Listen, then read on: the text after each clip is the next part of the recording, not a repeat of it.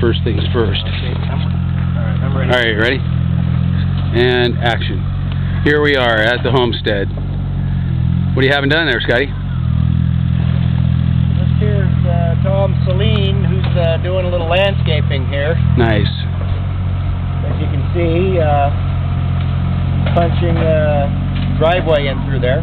Yep. Plan is, if you'll pan this way, that he will uh, he'll loop around behind this cherry tree, and Yeah. uh, the other exit will be right here, or Where that entrance, thing whatever. Uh, that's that correct? Mike.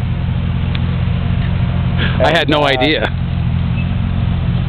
So uh, we're just going to turn him loose here today for uh, about two hours, Right on. and he's uh, got about four more to go after that. Excellent. So. Yeah, watch him work, man. That thing will tear this up. On. What's his name? Celine? Tom? Um, Tom Celine. Nice guy. Quick with a joke, or light up your smoke. And there's no place that he'd rather be.